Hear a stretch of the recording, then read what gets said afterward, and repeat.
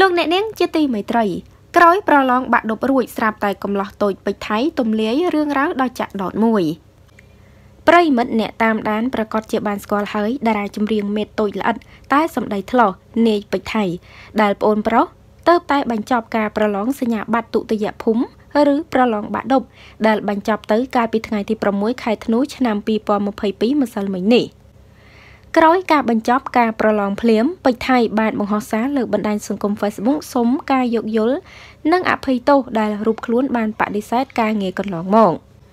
ប្រាកដណាស់កំឡោះទុយល្អិនអត់ព្រមធំរូបនេះធ្លាប់ធ្វើឲ្យកក្រើកកម្មវិធីប្រឡងចម្រៀងលំដាប់ថ្នាក់ពិភពលោក The Voice Kids Cambodia រដូវកាលទី1កាលពីឆ្នាំ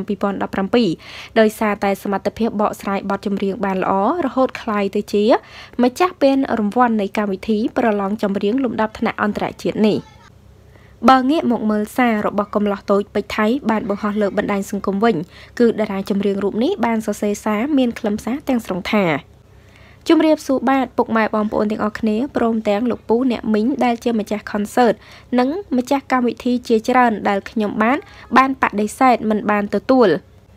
ព្រោះខ្ញុំបានជាប់ការមើលមេរៀនប្រឡងសញ្ញាបត្រមធ្យមសិក្សាទុតិយភូមិសូមលោកពូអ្នកមីងអធិស្ឋានឲ្យខ្ញុំបាទផងជាមួយគ្នានោះពេជ្រថៃក្រោយប្រឡងចប់បាក់ដប់ភ្លាម មានន័យថារូបខ្លួនទំនេរដូច្នេះហើយ លោកប្អូនល្អិតរូបនេះបានបញ្ជាក់ថា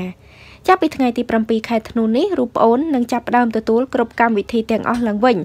និងសូមអភ័យទោសដល់ពុកម៉ែបងប្អូនអ្នកគាំទ្រខ្ញុំបាទដែលឆាតមកលេងនិងសួរសុខទុក្ខដែលខ្ញុំបាទមិនបានតបខ្ញុំបាទនឹងព្យាយាមតបរាល់សារពុកម៉ែបងប្អូនឡើងវិញបន្ទាប់ពីប្រឡងរួចសូមអរគុណបាទតាមរយៈបទសម្ភាសជាមួយសារព័ត៌មានកោះសន្តិភាពកំឡោះតូចពេជ្រថៃចង់ប្រាប់ទៅពុកម៉ែបងប្អូនថា ក្រោយពេលបានប្រឡងសញ្ញាបត្រមធ្យមសិក្សាទុតិយភូមិចប់កំឡោះតូចរូបនេះពិតជាសប្បាយចិត្តជាខ្លាំងព្រោះរាល់គ្រប់វិញ្ញាសាទាំងអស់គឺធ្វើបានច្រើនដោយមូលហេតុម្ចាស់ពានរូបនេះតែងតែខិតខំប្រឹងប្រែងរៀនសូត្រហើយភាគរយនៃការប្រឡងជាប់គឺមានសង្ឃឹមច្រើន កំឡោះតូចពេជ្រថៃបន្តថាទោះបីរាល់ថ្ងៃមមាញឹកជាមួយការងារសិល្បៈក៏លោកនៅតែព្យាយាមជាមួយនឹងការសិក្សាសូម្បីតែថ្ងៃចុងសប្តាហ៍ក៏ដោយក៏ត្រូវទៅរៀនដែរព្រោះគោលបំណងដ៏ធំរបស់លោកគឺចង់ប្រឡងជាប់សញ្ញាបត្រមធ្យមសិក្សាទុតិយភូមិហើយចំណុចដែលកំឡោះតូចរូបនេះចង់ទម្លាយឲ្យមហាជនដឹងនោះប្រសិនបើប្រឡងជាប់បាក់ដប់នោះលោកនឹងរៀនជំនាញផ្នែកច្បាប់ព្រោះជំនាញមួយនេះលោកពិតជាស្រឡាញ់ហើយនឹងចូលចិត្តខ្លាំងណាស់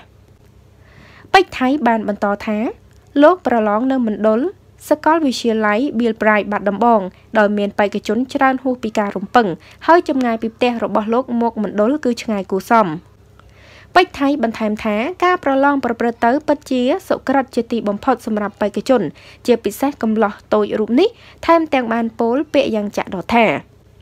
អ្នកចេះគឺជាប់ហើយបើសម្រាប់លោកផ្ទាល់តកតងជាមួយវិញ្ញាសា